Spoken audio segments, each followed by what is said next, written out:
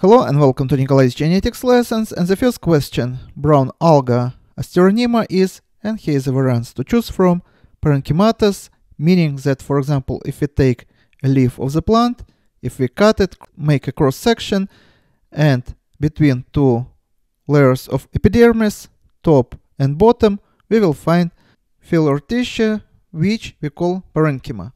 So next, Siphonous, and take a look at this picture.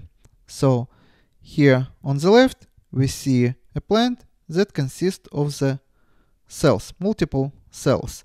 But here on the right we see a plant that consists of only single cell.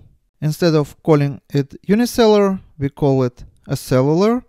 And what we can find here, here in the middle would be vacuole, and we also here represented with dots find multiple chloroplast and nuclei.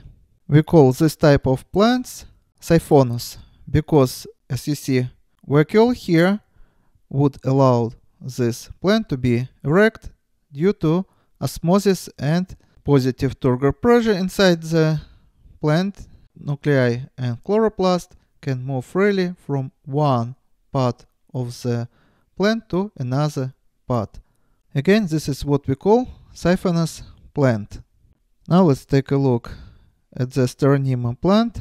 So this is how it looks like and here is not a single body of the plant because there are hundreds and thousands of hair-like structures here. And here you can see in more details, for example with letter A here shown branching filaments which show apical cells and unilocular sporangia.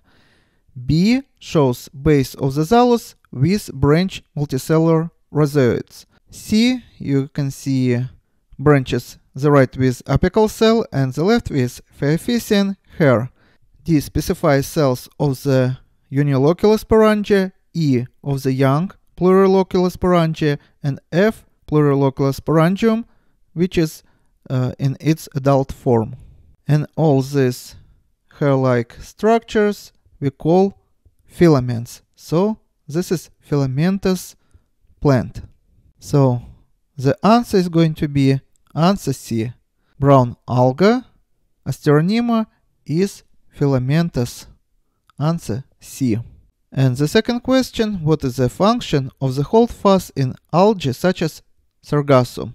And here's variants to choose from take a look at this picture. Here is the structure, simplified structure of the sargassum, and as you see, holdfast perform function of the root, but only from the point of view to anchor to the substrate, because it doesn't perform other functions of the terrestrial plants, for example, such as uptake of the nutrients and water, transportation function, or accumulation of the different products such as starch and sugars.